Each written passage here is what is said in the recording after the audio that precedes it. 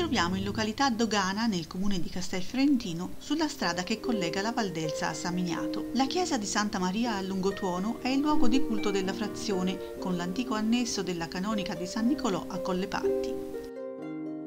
Le prime tracce documentali risalgono al 1297, quando furono stabiliti i confini di demarcazione fra il territorio della Repubblica Fiorentina e quello del comune di Samignato, e ne fu decretata l'appartenenza alla diocesi di Volterra.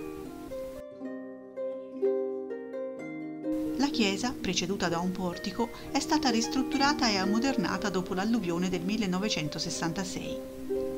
L'interno è privo di navate, ha un soffitto in legno e un grande crocifisso, pure in legno, che campeggia sulla parete di fondo.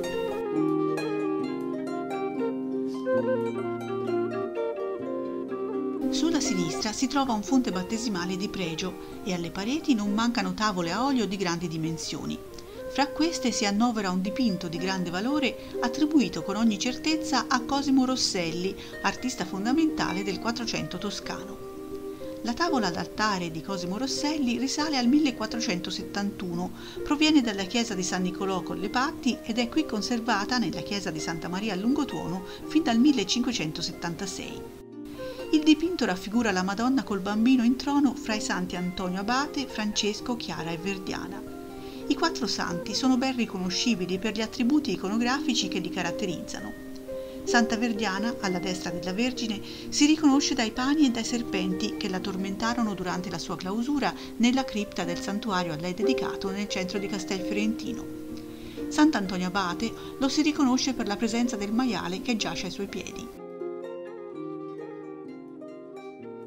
La santa al lato di Verdiana è chiara con il tipico libro in mano, simbolo di dottrina e riferimento alla regola.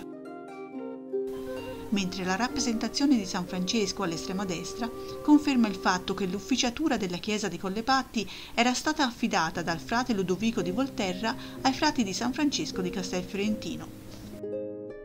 La tavola, come riporta la scritta sul gradino del trono ai piedi della Madonna, fu commissionata a Cosimo Rosselli da tale Neri di Domenico Neri il 27 ottobre 1471 con una dotazione di elemosine raccolte fra i fedeli. L'opera è stata restaurata in occasione della mostra La città degli Uffizi nel 2011 un restauro complesso che ha permesso non solo di restituire alla tavola fortemente compromessa il suo originario splendore, ma che ha anche fornito nuove informazioni storico-artistiche che la riguardano, tornando finalmente ad arricchire con la sua bellezza la chiesa di Lungotuono. Dieci anni dopo aver dipinto questa tavola, Cosimo Rosselli avrebbe contribuito alla realizzazione dei dipinti della Cappella Sistina e di ritorno da Roma avrebbe affiancato Benozzo Gozzoli nel completamento degli affreschi del Camposanto monumentale di Pisa.